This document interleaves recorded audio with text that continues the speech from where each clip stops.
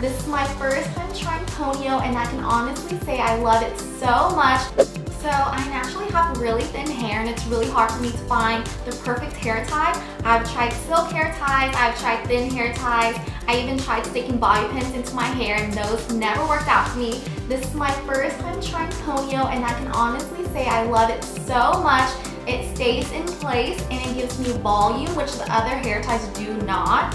You want to put your two fingers inside the Ponyo, your index finger and your thumb. You're going to pull your hair all the way through and then you're going to push it flat down. You're going to push one side in and the other side in as well.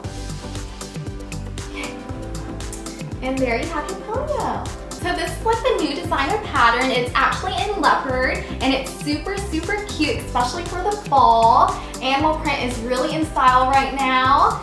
And who doesn't love leopard print? Super fun, super cute, and gives you Khloe Kardashian vibes. So I'm really excited that Ponyo actually sent me these new bling rings. They're super cute. They're magnetic in the back so they completely cover the Ponyo. I'm really excited to try these. They come in black, they come in rose gold, they come in gold and silver and it's super cute. It's like accessories for your hair. You don't even have to wear earrings or a necklace. This is the only accessory you need and it's super cute, fun, and really noticeable. Everyone's gonna love it when you go out.